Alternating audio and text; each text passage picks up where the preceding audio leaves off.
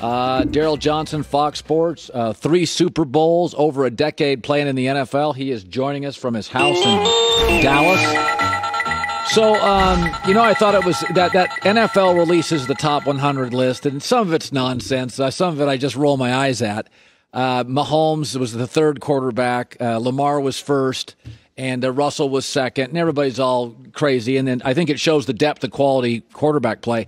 It is interesting, though. I've been on this for about four years that Russell Wilson plays the position differently, and we don't know quite how to put our arms around him.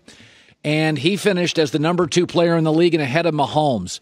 When was the first time, because you've done Seahawk games, Moose, that you did a Seahawk game with Russell Wilson and you finally were like, oh my Lord, this, this has got it. this is Steve Young. This is, when was the first time you truly appreciated him? Well, really, the first time we did a game because we had the meeting with him, and I was so impressed with him as a young man that I was really excited to see how he was going to play on the field, and, and he followed it up. And you know, you always hear about the intangibles at the quarterback position, and and it was amazing when we sat down with them. They were they were everywhere, and you just wondered how the guys were going to gravitate to that. Um, and just watching his growth, his development, you know, how he's become uh, you know, the centerpiece of that franchise and the success that they've had year in and year out, the consistency. And it all starts with Russell. So for me, the, the, the biggest thing was, you know, kind of forming your own opinion of, of what you thought he was going to be after meeting with him and then going out and doing that game and seeing everything you hoped would happen from the quarterback position happen. Uh, he's got the will uh, to, to help his team in critical possessions. Uh, he wants the ball in his hand at the end of the game uh, when it's on the line. There's just all the things – that you can't teach a quarterback, he has all of those. And it was it was great to see it transfer from the meeting room out onto the field. You know, it's interesting. Lamar Jackson was number one, and I wouldn't make him the number one quarterback, but athletically, Mahomes ran a 4.840. Lamar's like a 4.35. Athletically, he's a, you know, he's just crazy. You, there's just nothing else like him in the league. I, what I like about Lamar is instead of running from his critics or being defensive, he has acknowledged in the last two years, I need to get bigger. I need to be a better pocket quarterback. He's really owned it. He's really come out and say, I heard my critics. I think they're right. What do you think is the next? Is this what he is now? Or do you think there's a next level for, and you played with Troy when he was real young. Is there a next level for Lamar? I, I think the step that he took uh, last year was was amazing, and I think the fact that he has Greg Roman with him as his offensive coordinator, he can play to his strengths. I, I think he'll continue to grow uh, probably the next two seasons, and then you'll really start to see him refine his craft. Um, you know, especially when you have somebody who knows that they have to work on the things that maybe aren't as uh, as at the level that some of the other guys, the Russell Wilsons, the Patrick Mahomes. Uh, when you have somebody who understands that and embraces that the way Lamar does, uh, you know, the sky is the limit for him. And, and, I like the point that you brought up, and it goes back you know, early in my broadcasting career when, when we had Michael Vick playing in the league and, and people were trying to spy him and you're like, he's the most athletic guy in the field. There's nobody that can cover him.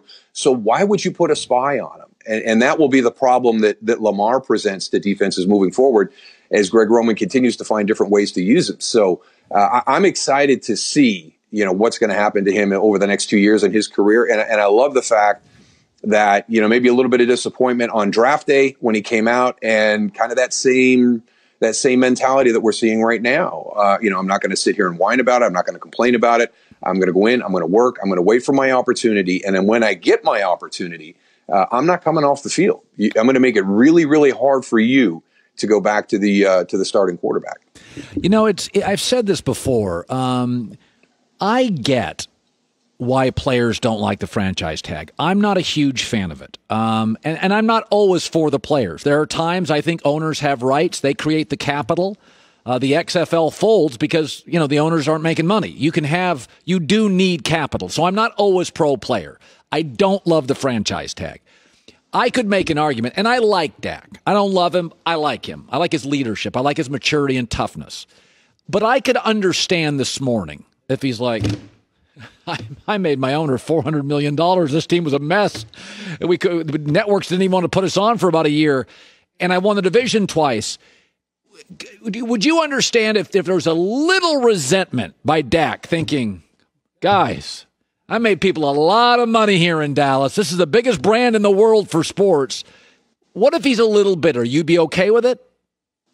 Absolutely. I was a little bitter in my career at times. so, you know, I, I, can't sit here and judge other people. Um, when you're competitive, just everything you just talked about with LeBron James, and, and you went not only into sports, but into business as well. When you're wired that way, you also want to be validated in the belief that you have in yourself. So, yeah, there were two negotiations for me when, when I was a little bit bitter. Um, you know, I, I, felt that I was underappreciated. Um, you know, my, my first opportunity for a good contract uh, the, the organization told me, hey, you, you've done a really nice job the last two seasons, but we want to see it one more time. So before the franchise tag was even in place, I got kind of the franchise tag, you know, not to the numbers they are today, but I got a one year deal, um, not a substantial increase in pay, but it was kind of a let's see it one more time. If you prove it, we'll get you the big next uh, next year. We'll get you the big contract.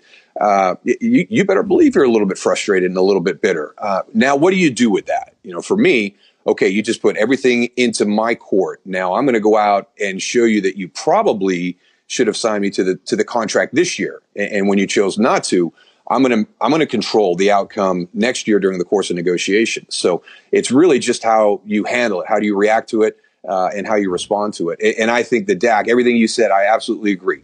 You know, you really like him.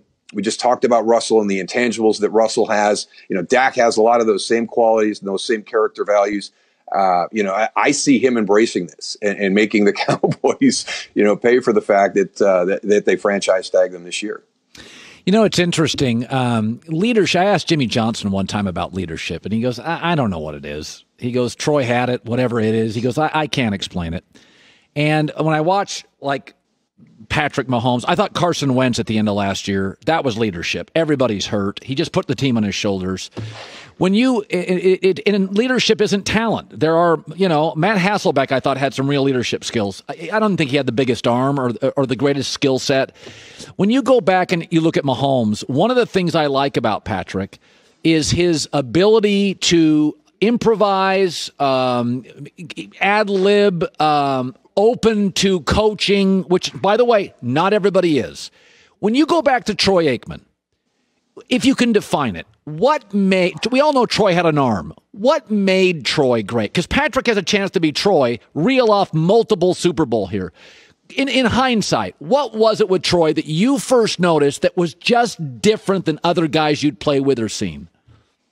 there's a unique quality that uh, not only players have, but I think a lot of the great coaches have. I think it's one of the common threads, and they have the ability to make you want to be the best you possibly can be, so they will respect you as a player, and and that's what that's what Troy has. Um, you know, that's what Troy did for all of us. Yeah, I, I wanted I wanted to earn his respect. I, when he talked about me to other people, I wanted him to talk, uh, uh, you know, with uh, you know a lot of complimentary, uh, you know, things. You know, it, it, he he works hard. You know, just all the things that I valued. I wanted him to see that in me. I wanted him to respect me as a player. And and I had a coach in college who was the same way. It, it's very it's very rare when you get that, and uh, it's probably one of the components uh, that LeBron had and all the other people that you mentioned in that that previous segment.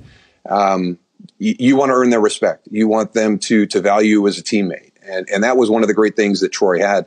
And then when you get a, a group of guys who all want to do that together, that, that that's when you see a team really become uh, something special. And, and, the one thing that I think, I, I, don't know Patrick Mahomes well. I haven't been around him. I don't know if he has that quality. The thing that I love about Patrick Mahomes is, is his passion for the game. And, and that is infectious as well. Um, so there's a number of different ways to be that leader, and it was one of the things that that our great teams had. We had a number of different guys who led in different ways. You know, Erik Williams, you know, was our physical presence. You know, Michael Irvin was the the heart and soul of the team, the emotional leader. Troy was where the buck stops. You know, he was the you know the the alpha leader in that group of of, of probably six or seven guys with great leadership qualities. Uh, that's when it gets fun. And I, and I think with a guy like Patrick Mahomes, the passion he plays the game with, um, you know, just having all those guys around, he always seems like he's having fun. Uh, it, it's going to be it's going to be a lot of fun to see his career progress as well. By the way, as a dad, you would understand if a player said, "I'm opting out." You know, a, a newborn. As a teammate, though, when you were, you know, you're on those Dallas teams, and you know this is legacy stuff here. You guys are great. Would there be a? I mean, I could see myself saying, if a teammate opted out, "Man, you're you're killing us here," but then part of me would be like, Okay, he's a dad. There's kids. Yeah. How do you how do you reconcile all that? Because when you play football's so hard, practice with football's hard. Football practice is hard. How do you reconcile it if a teammate just says, "I'm out for the year"?